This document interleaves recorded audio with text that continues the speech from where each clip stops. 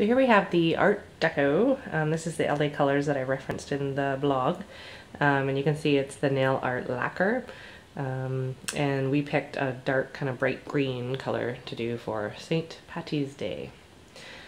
So we're going to apply um, some of our shamrocks that we talked about for St. Patty's Day.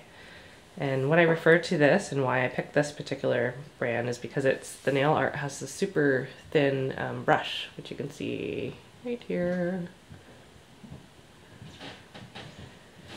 So you want to get a pretty good amount on because you're going to be doing your, um, you want it to be kind of a bright color and it gives you the ability to kind of control a little bit more how your pattern's going to look.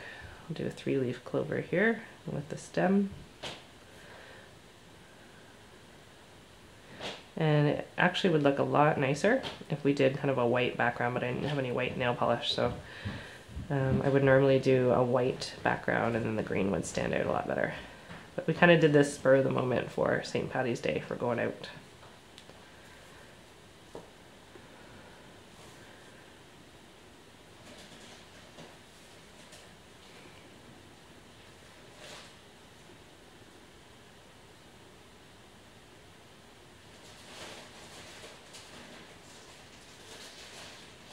Do the four leaf clover.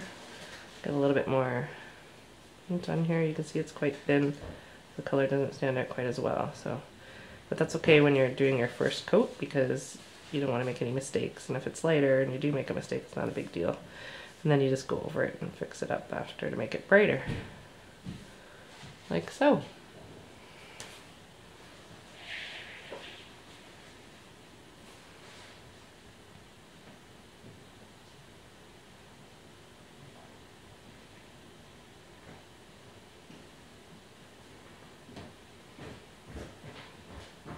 Could also do St. Patty's hearts if you wanted to.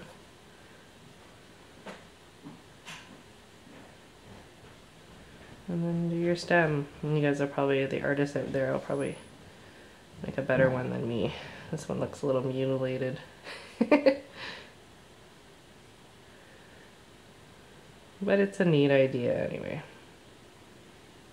Your kids can get into it. They can do some fun ones. You see I got bigger, small, medium, large.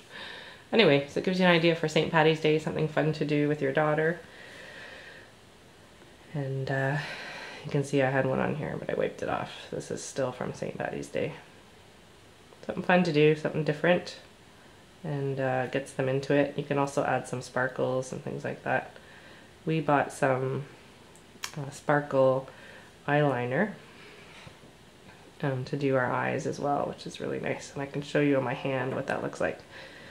I'm not going to show you a close-up of my eyes because uh, that would just be silly.